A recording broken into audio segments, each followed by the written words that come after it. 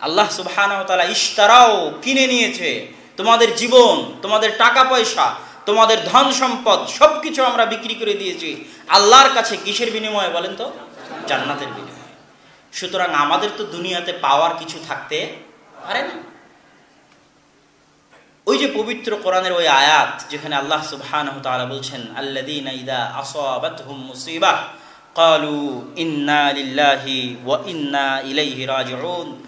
যখনই তাদের উপর কোনো বিপদ, কোনো মুসিবত চেপে আসে, তখন তারা বলে, ইন্না লিল্লাহ, আমরা আল্লাহর ও ইন্না ইলাইহি রাজিউন, আমরা তার দিকেই ফিরে যাব। এটার যেটা মূল থিম মূল কথা, মূল আবেগ, মূল অনুভূতি, সেটা হচ্ছে, ইন্না লিল্লাহ, আমি নিজেই তো আল্লাহ। আমি নিজেই কার? আল্লাহ। মানে আমার যা ধন সম্পদ, সয় সম্পত্তি ছিল, এটাও কে মালিক? এই জন্য আল্লাহ পবিত্র কোরআনে কোথাও বলেননি মুসলমানদেরকে, মুমিনদেরকে, যে তোমরা তোমাদের ইনকাম আল্লাহর রাস্তায় ব্যয় করো।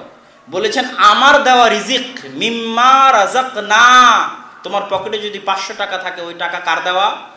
এটা আল্লাহ বলছে। মিম্মা রাজাক না আমার দেওয়া রিজিক। তুমি যদি কোটি টাকার মালিক হও, ওটাও মিম্মা রাজাক না আমার দেওয়া রিজিক। তাহলে, ইন্না, আমি নিজেই তো আল্লাহ।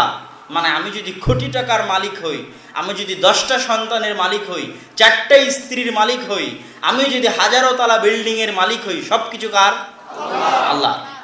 তখন আল্লাহর জিনিস যদি আল্লাহ নিয়ে যায়, তাহলে আমার কিছু করার আছে? ইন্না লিল্লাহ। কোটি টাকা হারিয়ে গেলেও, ইন্না লিল্লাহ, কোটি টাকা কার ছিল? আল্লাহর ছিল। আমার তিনটা সন্তানের একটা মারা গেল, ইন্না লিল্লাহ। আরে আমি নিজেই তো আল্লাহর, ওই সন্তান কে দিয়েছে? আল্লাহ দিয়েছে। আল্লাহর দেওয়া সন্তান যদি আল্লাহ নিয়ে যায়, আমার কিছু করার আছে? কিছু করার নেই। ইন্না লিল্লাহ, আমি তো নিজেই আল্লাহর। ও ইন্না ইলাইহি রাজিউন, আর আমি ফিরেও যাব আল্লাহ সুবহানাহু তাআলার দিকে। সম্মানিত উপস্থিতি, এই জন্য যুবক সমাজকে বস্তুবাদী চিন্তা থেকে বের হয়ে আসতে হবে। এবং একটা মজবুত, শক্তিশালী পরিবার গঠন ছাড়া এই জাতির উন্নয়ন বা মুক্তি সম্ভব নয়। দ্বিতীয়ত প্রোডাক্টিভ হতে হবে। উৎপাদন, পৃথিবীর প্রত্যেকটা জিনিস হচ্ছে মেশিন আর প্রত্যেকটা জিনিসকে আল্লাহ সুবহানাহু তাআলা নির্দিষ্ট টাইম দিয়ে পাঠিয়েছে। আর সময় হচ্ছে আল্লাহর সৃষ্টি। সময় কার সৃষ্টি? আল্লাহর সৃষ্টি। সময় কিন্তু আপেক্ষিক। সময় হচ্ছে আপেক্ষিক। আপনি এখান থেকে পাঁচ মিনিটে একটা রাস্তা পার হবেন, একজন এক মিনিটে পার হবে, একজন এক সেকেন্ডে পার হবে। এটাই সময়। কেউ এক সেকেন্ডে ওই রাস্তা অতিক্রম করল, কেউ পাঁচ মিনিটে করল, কেউ পাঁচ ঘন্টায় করল। সময় সম্পূর্ণরূপে আপেক্ষিক। এই জন্য সময়ের সৃষ্টিকর্তা হচ্ছেন আল্লাহ সুবাহানাহ তালা এই জন্য আমরা আমাদের সময়ের সাথে আল্লাহর অস্তিত্বকে কম্পেয়ার করতে পারি না। যে আমার এখানে দিন রাত চব্বিশ ঘন্টায় হয় মানে আল্লাহর ওখানেও দিন রাত চব্বিশ ঘণ্টা হয়, এটা নয়। কেননা ওই সময়ের সৃষ্টিকর্তাই আল্লাহ। এটা আল্লাহ এইভাবেই ইনস্টল করেছেন। এইভাবেই সফটওয়্যার সেট আপ দেওয়া আছে যে এখানে চব্বিশ ঘন্টায় দিন রাত হবে। এটা আল্লাহ সুবাহতাল্লাহ ভেঙে দিবেন কি আমাদের মাঠে। থাকবে না। তখনকার দিন হবে অন্যরকম। তখনকার রাত হবে অন্যরকম। তখনকার টাইম টেবিল হবে অন্যরকম। কেননা এই সময়ের সৃষ্টিকর্তা তো আল্লাহ। তো এই সময় আল্লাহ সুবহান তালা সবাইকে দিয়েছেন। একজন রিক্সা চালককে দিয়েছেন, একজন মুসলিমকে দিয়েছেন, একজন কাফেরকেও দিয়েছেন। মুসলিম দেশকেও দিয়েছেন, কাফের দেশকেও দিয়েছেন। মুসলিম আলেমকেও দিয়েছেন, কাফেরকেও দিয়েছেন। সময় আল্লাহ সবার মধ্যে সমানভাবে বন্টন করে দিয়েছেন। যে যেভাবে কাজে লাগাবে, তার ফল সে সেভাবে পাবে। এটা আল্লাহর ওয়াদা। আজকে যদি একটা রিক্সাওয়ালা সকাল থেকে সন্ধ্যা পর্যন্ত কাজ করে, তাহলে সে পাঁচশো টাকা ইনকাম করলে ওটা তার উৎপাদন। এই যে ক্যামেরাগুলো কাজ করতেছে, এগুলো এই ক্যামেরাগুলোর উৎপাদন। মাইক আওয়াজ দিচ্ছে এটা মাইকের উৎপাদন। একটা মেশিন আজকে এক হাজার পৃষ্ঠা ছেপেছে, সেটা তার উৎপাদন। একটা মেশিন আজকে সুতা তৈরি করেছে, কাপড় বের করেছে, সেটা তার উৎপাদন। যুবক সমাজ কি উৎপাদন করতেছে? কি তারা দিচ্ছে দেশ এবং জাতিকে? তারা তাদের সময়টা কি কাজে লাগাচ্ছে? চব্বিশ ঘণ্টার প্রতিটা সেকেন্ড সময় কাজে লাগতেছে কিনা? প্রোডাক্টিভ কিনা? কিছু উৎপাদন হচ্ছে কিনা? এটাই হচ্ছে সফলতার মুসলমান সহ যে কারও সফলতার মূল থিওরি চব্বিশ ঘণ্টা সময়কে যথোপযুক্তভাবে কাজে লাগাতে হবে। ওই যে যুবক সকাল থেকে সন্ধ্যা পর্যন্ত Facebook Twitter YouTube free fire games এদেরকে আমি বলেছি যে এদেরকে তুলে কোথায় ফেলতে হবে? ডাস্টবিনে ফেলে দিতে হবে। কি জন্য তারা সারাদিনে কোনো কিছু উৎপাদন করতে পারছে না। আর সবচেয়ে বড় ইনভেস্ট হচ্ছে পড়াশোনায় ইনভেস্ট করা। তা কোটি টাকা ইনভেস্ট করার চাইতে বড় ইনভেস্ট হচ্ছে জ্ঞানে ইনভেস্ট করা। এটা এক সময় রিটার্ন ব্যাক করবে, সুদে আসলে অনেক বেশি হে। এই জন্য জ্ঞান অর্জন করা অনেক অনেক গুরুত্বপূর্ণ। তাহলে আমরা আমাদের যুবকদেরকে বস্তুবাদী থেকে মুক্ত হওয়া এবং প্রোডাক্টিভ হওয়া, উৎপাদন ক্ষমতা বাড়ানো এবার এই উৎপাদন ক্ষমতার সাথে দিনী ভাইদের কিছু সম্পর্ক আছে। দিনী ভাইদের কি সম্পর্ক আছে?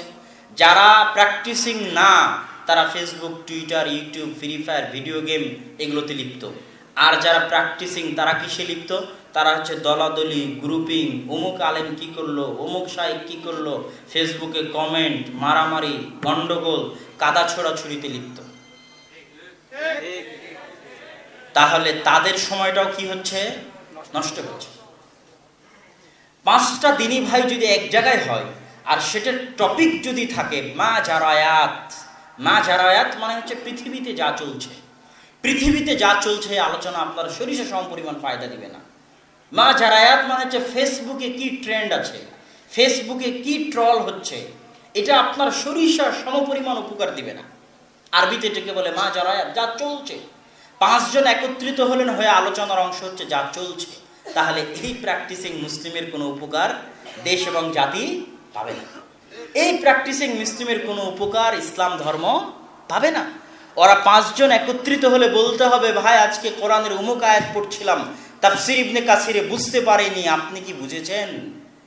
আর একজন বলবে, ভাই, বোখারির উমুক হাদিস পড়ছিলাম, এটা বুঝতে পারিনি, আপনি কি বুঝেছেন?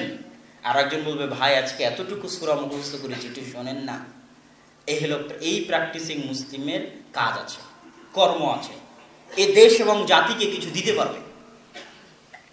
আর যে প্র্যাকটিসিং মুসলিমের কাজ হচ্ছে সর্বদা মা যার আয়াত, সেটা দুনিয়ার সাথে সম্পৃক্ত হোক অথবা দিনের সাথে সম্পৃক্ত হোক, কোন শায়ে কোথায় কি করল কোল আলেম কার বিরুদ্ধে কি বলল, এই যে ট্রল করা, এইটা কোনোদিন দিনের দাওয়াতের নাম হতে পারে না। এই আদব, এই শিষ্টাচার কোনোদিন নবী রাসুলের আদব এবং শিষ্টাচার ছিল না। সে যতই আপনার দৃষ্টিতে খারাপ হোক, যতই আপনার দৃষ্টিতে বেদাতি হোক, তার যদি সৃষ্টিগত কোনো সমস্যা থাকে, তাহলে এটা কি দাওয়াতের অংশ যে আপনি তার সৃষ্টিগত সমস্যা নিয়ে কটাক্ষ করবেন? কথা বলেন না যে। আপনি কি মুসা আলাইহি সালাত সালামের চাইতে ভালো? আর যাকে নিয়ে আপনি ট্রল করছেন, কটাক্ষ করছেন, সে কি ফেরাউনের চাইতে খারাপ? তারপরও আল্লাহ মুসাকে বলেছেন, তুমি ফেরাউনের সাথে ভালো ব্যবহার করবে। এবং মোহাম্মদ সাল্লাহ আলী ওয়াসাল্লাম যখন চিঠি লিখেছেন হেরাক্লিয়াসের কাছে, তখনও তিনি ভালো ব্যবহার, সম্মান দিয়ে চিঠি লিখেছেন। তখন তিনি তাকে কাফের বলে কটাক্ষ করে চিঠি লেখেননি। সুতরাং আমাদের যুবক সমাজ যেই ট্রেন্ডে যেইভাবে চলতেছে, এইভাবে কোশ্চেন কালে ইসলামী বিপ্লব, ইসলামের আলোড়ন, ইসলামের সফলতা, দিনের দাওয়াত, প্রচার কোনো মতেই সম্ভব নয়।